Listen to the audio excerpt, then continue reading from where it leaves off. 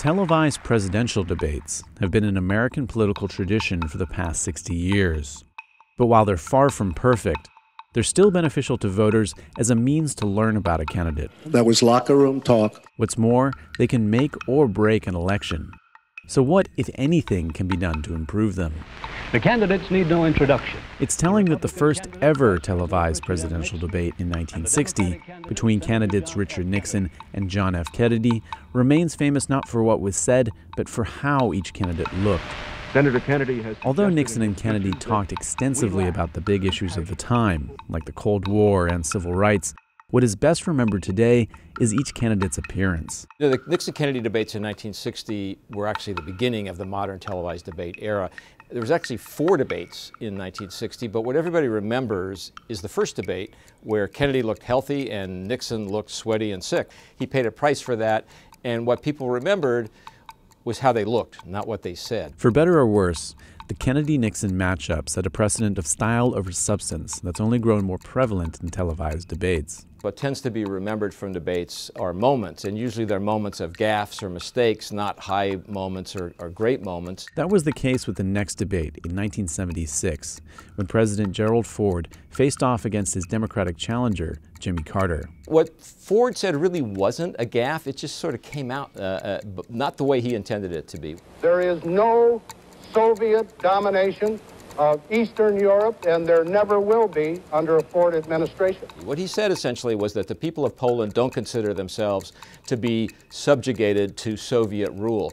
And that was true. The way it came across and the way it was portrayed, unfortunately for him, was that he was naive. He thought the Polish people weren't really under the Soviet thumb, when in fact, of course, in those days they were. That's again what everybody remembered from that debate, and it didn't help him. You already are the oldest president in history. Poignant moments in a debate can also help a candidate.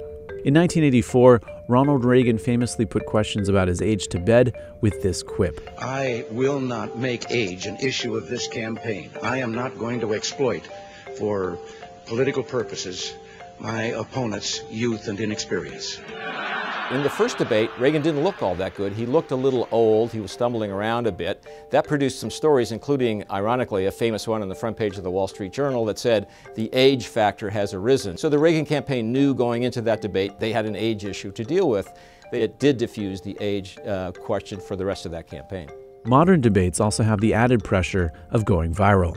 Sometimes debate moments that don't go well can be not just bad, they can be almost fatal. It's three agencies of government when I get there that are gone commerce, education, and the, um, uh, what's the third one there? Let's see. That was the case for Rick Perry in 2011 when he got halfway into a debate answer and then couldn't remember the rest of it. The third one I can't, sorry. Oops. Or Mitt Romney's famous slip up in 2012.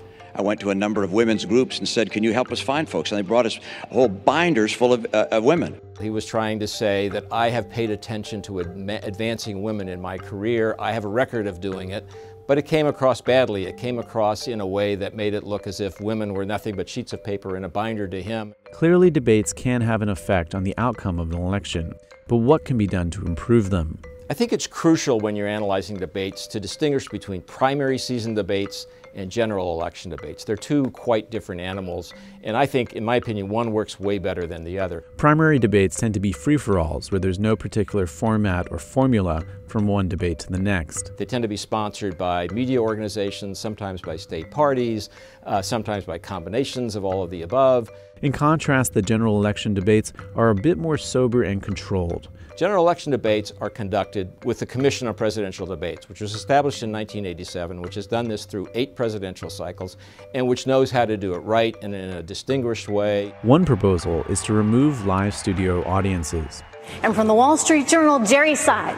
Well, first of all, I've done three debates with live audiences who are partisans, and so I know what the atmosphere is like, and it can be problematic. It is basically becomes a campaign rally to some extent, and I don't think it's the ideal way to hold a presidential debate. Hell yes, we're going to take your AR-15, your AK-47. A smaller audience that is not filled with campaign partisans um, is a better way to go. Another, at least for the primaries, is to reduce the number of candidates on stage. A debate with too many candidates is very unwieldy. It's hard to conduct a meaningful, substantive conversation that follows a logical progression.